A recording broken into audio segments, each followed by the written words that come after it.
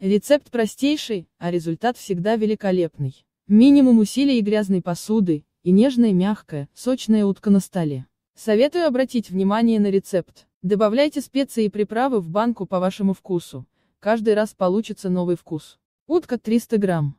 Чеснок, 1 зубчик. Соль, по вкусу. Лавровый лист 2 штуки. Количество порций 2. Подготовьте все ингредиенты. Утку нарежьте на средние куски. В обычную банку выложите утку, посолите, добавьте лавровый лист. На 1 дробь 3 наполните банку водой. Готовьте в духовке при температуре 160 градусов в течение двух часов. Приятного аппетита!